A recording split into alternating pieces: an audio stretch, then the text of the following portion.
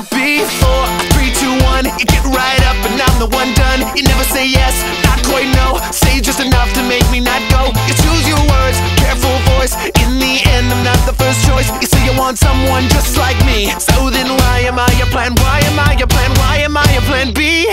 You know.